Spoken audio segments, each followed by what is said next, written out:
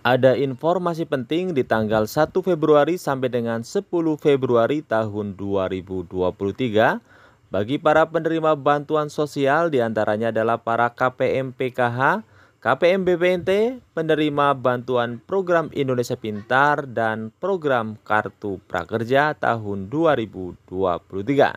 Simak informasi ini sampai selesai agar teman-teman semuanya tidak gagal paham dan salah paham dalam menyerap informasi yang telah kami berikan.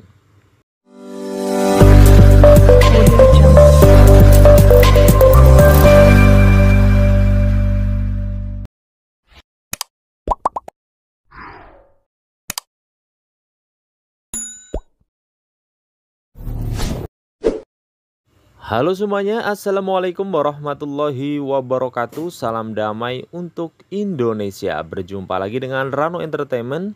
Di kesempatan kali ini kami akan memberikan informasi penting Mulai tanggal 1 Februari sampai dengan 10 Februari tahun 2023 Bagi para penerima bantuan sosial di antaranya penerima bantuan PKH, BPNT, Program Indonesia Pintar, dan Program Kartu Prakerja tahun 2023 dan untuk informasi yang pertama yaitu informasi bagi para KPM PKH yang mempunyai anak usia sekolah yang masuk dalam nominasi penerima bantuan program Indonesia Pintar atau PIP. Dan perlu diketahui bahwa batas akhir untuk aktivasi rekening penerima bantuan program Indonesia Pintar atau PIP yaitu di tanggal 31 Januari tahun 2023. Jadi bagi teman-teman semuanya yang mendapatkan informasi dari operator sekolah maupun mendapatkan SMS dari Kemendikbud yaitu pemberitahuan untuk aktivasi rekening kepada siswa-siswi nominasi penerima PIP tahun 2022 segera melakukan aktivasi ya sebelum tanggal 31 Januari tahun 2023 karena itulah batas akhir untuk melakukan aktivasi rekening. Jadi teman-teman yang melakukan aktivasi rekening akan mendapatkan SK dari kepala sekolah masing-masing untuk melakukan aktivasi rekening di bank penyalur yaitu untuk siswa SD dan SMP mengaktifasi rekeningnya di Bank BRI dan untuk siswa SMK atau MA aktivasinya di Bank BNI dan khusus wilayah Aceh melakukan aktivasi di Bank Syariah Indonesia atau BSI.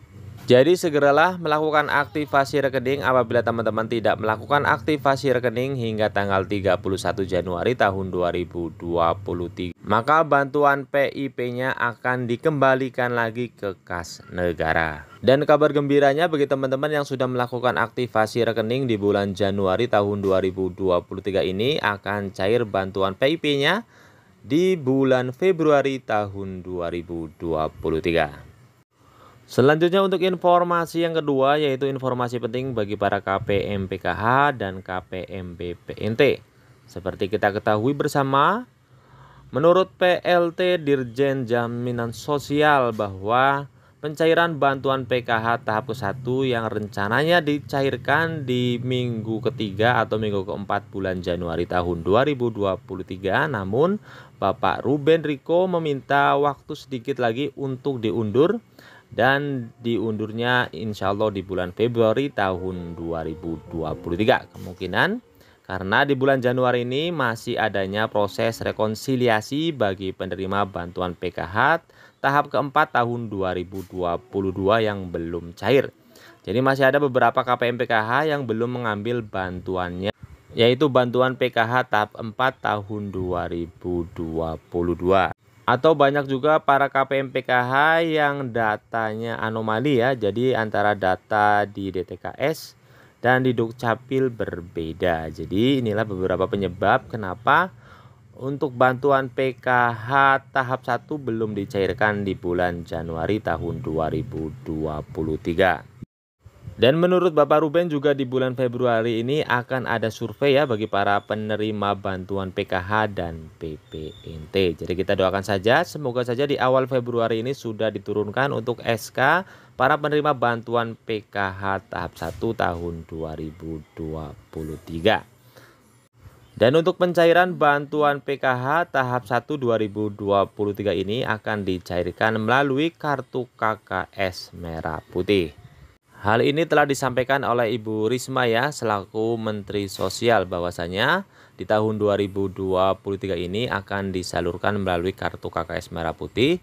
Hanya beberapa daerah yang jangkauannya susah akan diantar langsung ke rumah oleh pihak kantor pos. Dan kabar gembira juga bagi para penerima bantuan BPNT ya, kemungkinan besar juga bantuannya akan dirapel yaitu bulan Januari dan Februari untuk BPNT-nya nanti akan cair sebesar Rp400.000 melalui kartu KKS yang nantinya ditukarkan dengan sembako ya seperti biasa seperti tahun-tahun sebelumnya. Jadi persiapkan dari sekarang apabila teman-teman kartu KKS-nya sudah kedaluarsa tanggalnya teman-teman bisa melaporkan ke para pendamping masing-masing. Kartu KKS disimpan dengan baik jangan sampai rusak apalagi hilang ya. Kalau hilang teman-teman harus mengurus lagi dan memerlukan waktu yang lama untuk bisa mendapatkan kartu KKS baru.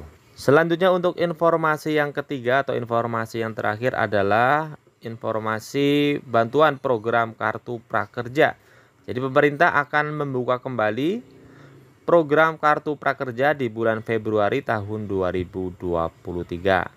Maka dari itu mulai dari sekarang teman-teman bisa mempersiapkan data-data teman-teman semuanya ya untuk melakukan pendaftaran program kartu prakerja seperti KTP, kemudian KK, kemudian nomor telepon dan email ya teman-teman dipersiapkan dari sekarang ya untuk bisa mendaftar bantuan program kartu prakerja tahun 2023. Dan untuk tahun 2023 ini untuk kartu prakerja akan menggunakan skema normal ya. Jadi tidak lagi menggunakan skema bansos seperti tahun-tahun sebelumnya. Dan anggaran yang dipersiapkan oleh pemerintah untuk bantuan program kartu prakerja sebesar 5 triliun rupiah yang akan ditargetkan kepada 1,5 juta penerima di seluruh Indonesia. Nantinya para peserta program kartu prakerja akan mendapatkan biaya pelatihan sebesar 3,5 juta rupiah, kemudian insentif Pasca pelatihan sebesar Rp600.000 satu kali, kemudian insentif survei sebesar Rp100.000 yang akan diberikan dua kali yang masing-masing per survei Rp50.000. Dan kabar gembiranya untuk program kartu prakerja tahun 2023 ini bisa diikuti oleh para penerima bantuan sosial seperti bantuan PKH maupun BPNT BPUM UMKM dan BSU BPJS. Jadi teman-teman yang mendapatkan bantuan-bantuan itu bisa mendaftar juga ya untuk bantuan program kartu prakerja ini. Itulah informasi penting dari tanggal 1 sampai dengan 10 Februari tahun 2023. Semoga informasi ini bermanfaat. Wassalamualaikum warahmatullahi wabarakatuh.